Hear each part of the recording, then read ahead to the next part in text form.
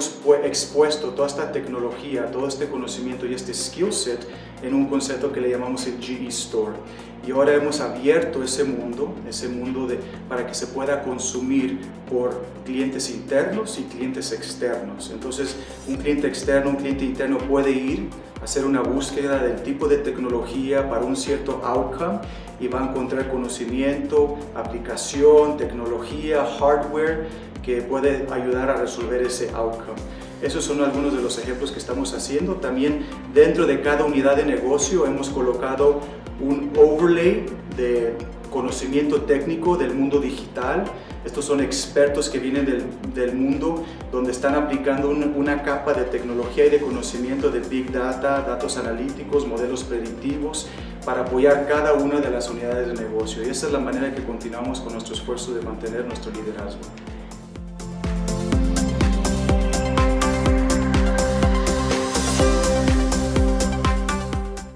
Que hemos visto, y, y, voy a dar un contexto de un ejemplo de lo que ha ocurrido eh, en el mundo consumidor y el impacto a, que ha tenido eso, ese ejemplo, a lo mejor en el mundo industrial. Tomamos, por ejemplo, un playlist de música.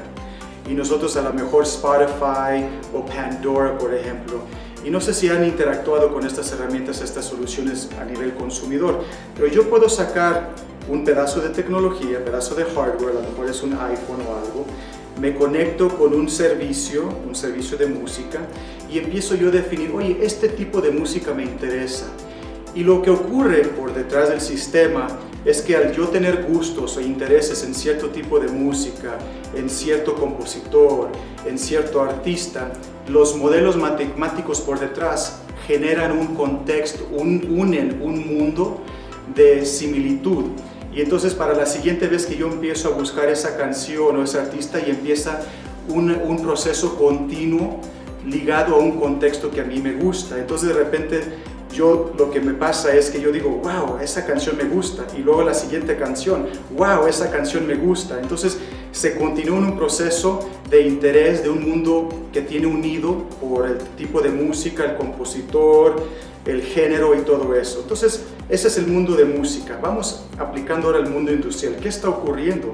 En el mundo digital industrial lo que vemos es un activo, un equipo, y luego empezamos a modelar ese equipo generando, por ejemplo, un twin virtual, el digital twin que le llamamos. Entonces, de repente, sabemos que este equipo tiene similitud como otro equipo y este equipo a lo mejor tiene similitud como una flotilla de equipos dentro de un, una región, dentro de un país. Y entonces, entonces estamos buscando esa similaridad, ese contexto que une esa flotilla o esos equipos. Y estamos buscando dónde está la diferencia, dónde, está, dónde se aparecen, dónde se, se, se tiene un contexto donde es igual el proceso y el equipo. Entonces tomamos el mundo a lo mejor de música, modelo matemático, lo traemos aquí al mundo físico, equipo, y estamos buscando esas relaciones causales entre un variable contra otro variable, unimos esa información para darnos más inteligencia de lo que está ocurriendo, para darle la información a un operador. Y este es un ejemplo donde el mundo de consumidor se une con un mundo industrial.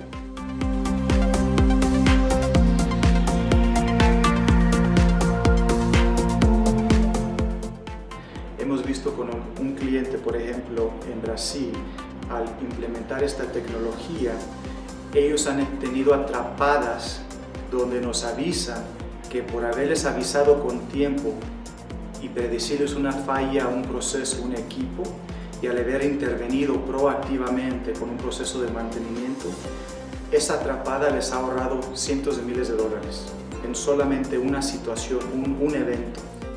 Por favor, vengan, únanse a la estrategia de GE Digital. Estamos transformando internamente y externamente el mundo. Hablamos el idioma de industria, hablamos el idioma de tecnología y entendemos cómo unir los dos para generar el mejor valor hacia nuestros clientes. Gracias.